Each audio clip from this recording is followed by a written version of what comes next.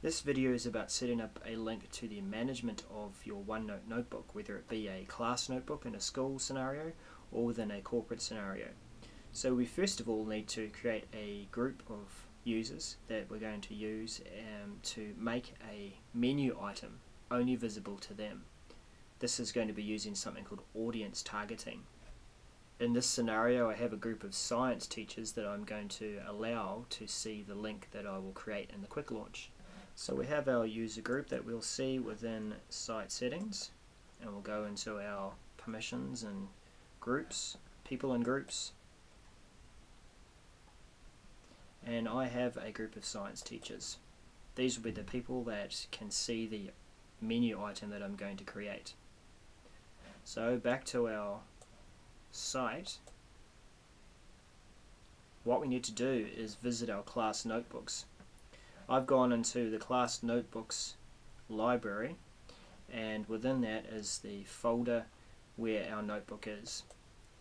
Now if this is a, a corporate scenario, if I just quickly click over to another site, um, we're just going to be visiting the document library and where the the notebook is. So we're just trying to get uh, the URL and, and manipulate it a little. So this is probably the most painful part of the process for those of you who are not familiar with working with URLs or, or changing various things and manipulating things within the URL. So it is quite an ugly looking URL. We're going to take that URL and put it in, let's say OneNote, and um, manipulate it from there. The notebook that I'm going to work with is the Year 10 Science Notebook. So I'll copy this link out of the address bar and just fire up a quick note with OneNote. And yes, as you can see, it's quite long and ugly looking. So the piece that we're interested in um, that we're going to manipulate is this part here. We're going to remove everything from the, the word folder CTID and the F and the AND symbol, ampersand symbol, and the link that we're left with there is the location of where you will find the notebook. What we're going to do now is add the name of the notebook at the end of the link. So our notebook name, if we just quickly reveal where that is, is forward slash y10 science.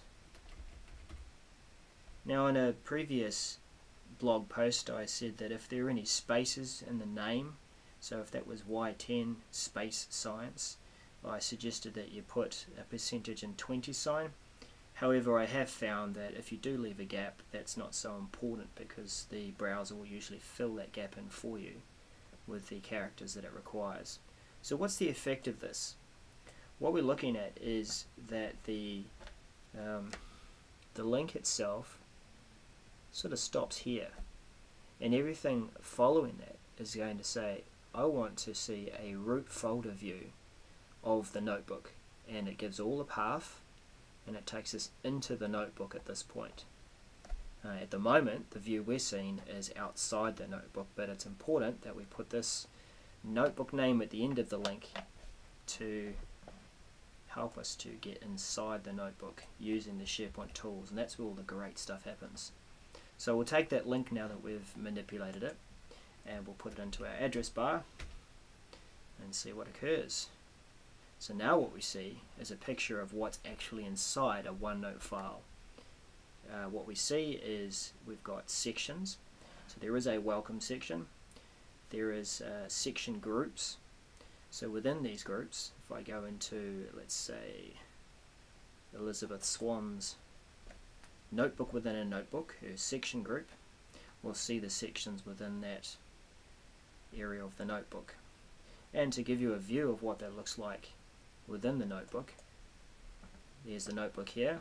We're looking into the section group for Elizabeth Swan. As you can see, it's a, a quite a different icon to how a section looks. And it groups the sections for Elizabeth Swan, and she has handouts, class notes, etc. What does that look like again within the notebook or the SharePoint view of the notebook? Here are the sections here, class notes, handouts, etc. The file Open Notebook is a special file that controls um, how the, the notebook is being opened. So whenever you're working within a view like this and you want to see or share the whole notebook, it's best to open the Open Notebook file because that will give you a view within your uh, OneNote Online browser um, of the whole notebook and all the sections that are visible in this section group. So let's go back up a level to our notebook and the, the link that we've created, manipulated and, and loaded is the one that we want to save so that we can easily access the notebook later and manage it um, whenever we need to. So we're going to take that same link now that we know that it works and we're going to create an item within our quick launch menu. So now that we've copied that into our clipboard we're going to create a new link on the quick launch. We'll use edit links at the bottom of the quick launch and add a link and we'll call the link manage year 10 science. We'll paste the address in there and click OK. Now at this point, when we click Save, we've got a link at the bottom of the Quick Launch menu. Um, we want to move it up so that it's just below Y10 Science and we also want to apply the audience targeting so that it will only be visible to our science teachers. So we'll do that next step from the site settings and using the navigation feature. I've turned on a site collection feature called Publishing Site Infrastructure which gives me a little more control over my menus. So now down in the current navigation area I can control where that item is going to be in the menu.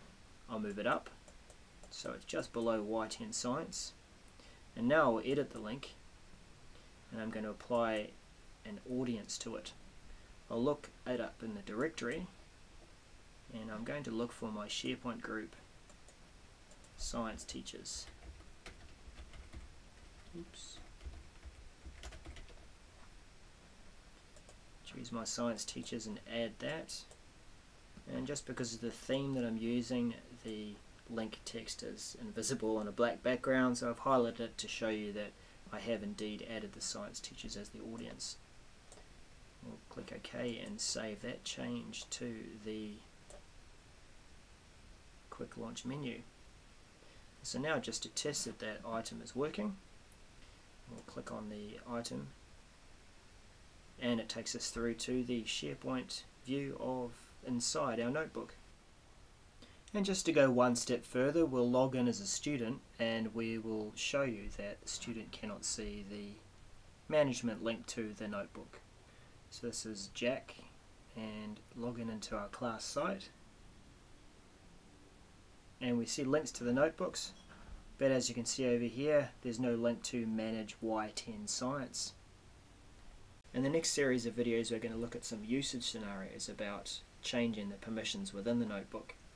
Some of those scenarios might be removing students from a class notebook or sharing a section or section group with someone outside of the organisation. So follow along with me and see if we can get even more out of OneNote notebooks, whether it be classrooms or within a corporate situation.